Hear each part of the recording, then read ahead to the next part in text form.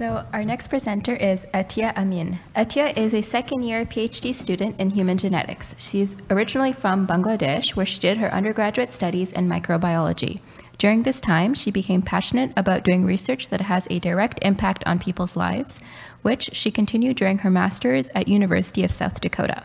Currently, she's interested in interdisciplinary research that bridges the gap between molecular biology and computer science, and her research focuses on finding effective biomarkers for different insect-borne diseases. Besides research, she is passionate about science communication, and she loves playing guitar during her spare time. The title of Atia's talk is, and let's hope I say this correctly, Preventing Leishmaniasis Using Exosome.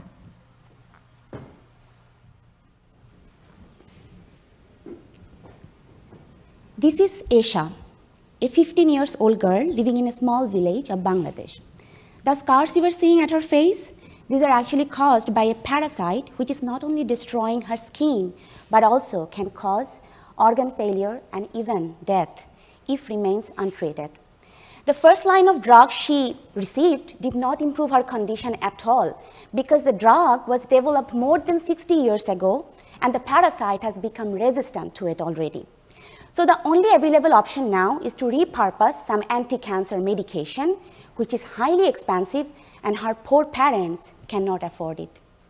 This is not just the story of Aisha, but the reality of over 1 billion people who are at risk of leishmaniasis, a disease you probably never heard of.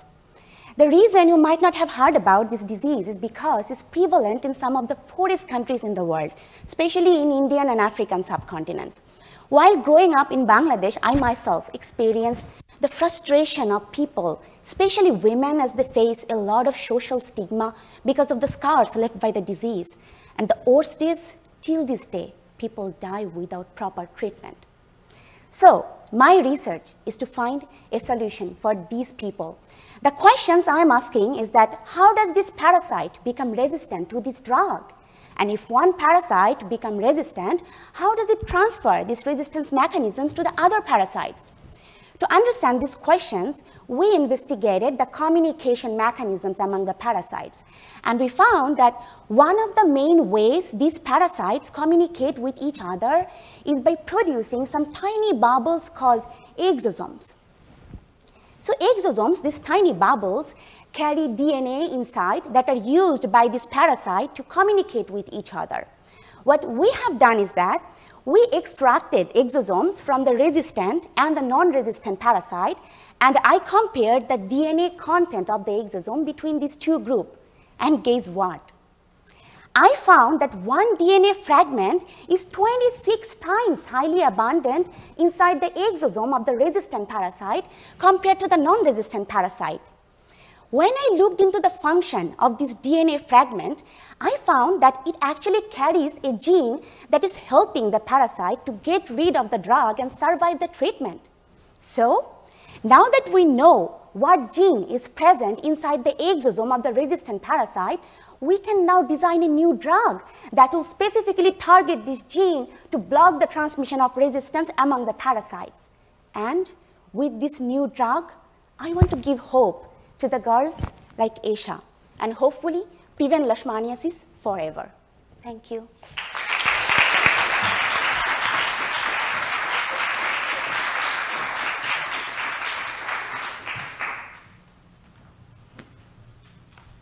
The, the winner, the English winner, first place, is Atia Amin.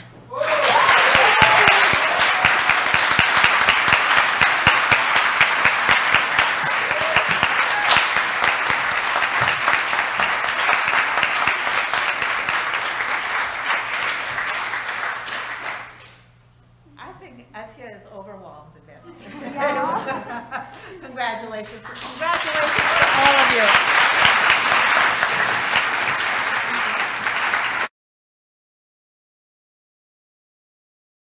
Thank you, Ian.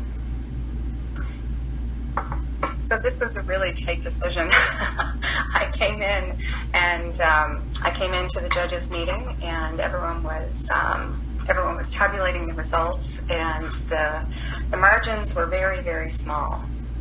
Index, and the winner, um, the first place, and the People's Choice winner tonight is Atia Amin in Human Genetics at McGill University for preventing leishmaniasis using exosome. Congratulations, Atia.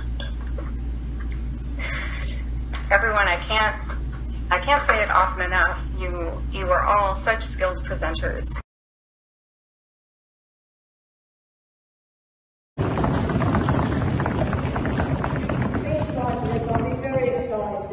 Today for our very first in-person national 3MT competition. The People's Choice Award goes to... Break over the envelope. Atia Amin from Yale University.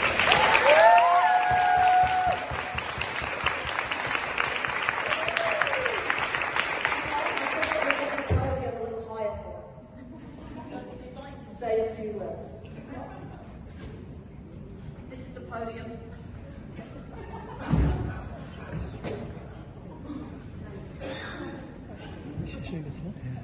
Thank you so much. Uh, I wasn't like I haven't prepared like a speech.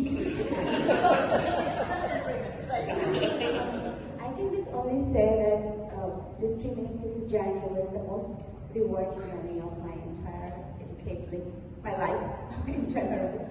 Uh, especially my PhD journey as well. I'll remember it and I have learned so much. I have met so many amazing people, mentors. Um, I think that's the best part of it and I enjoyed it so much. So thank you so much everyone for support.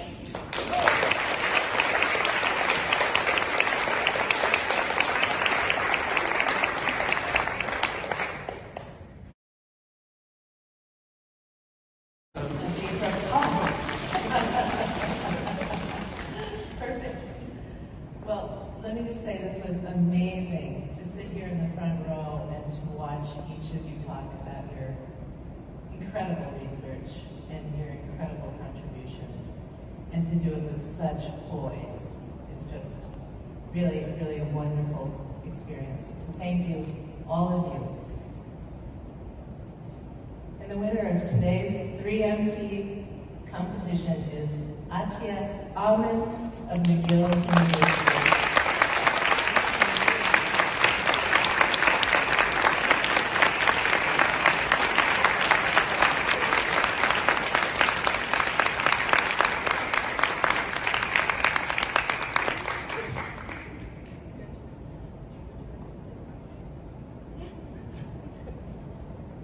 Thank you so much. Thank you so much. It's, it's a it's a huge, huge. Uh, what?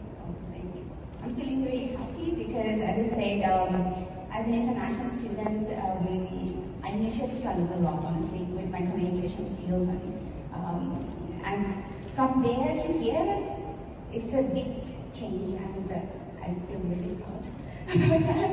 And thank you again, uh, everyone, for voting for me supporting me. And uh, another thing I want to say is that the work I do, the project I shared with you, I, I that's very close to my heart because that's something that um, is a big problem in um, my country and also in neighboring countries.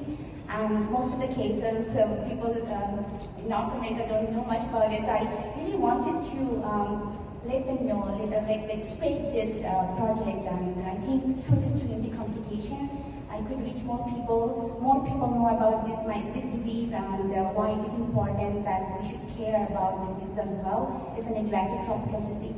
And I think that's what is my achievement uh, out of this competition. And uh, I, I'm really uh, grateful and thankful to all of you.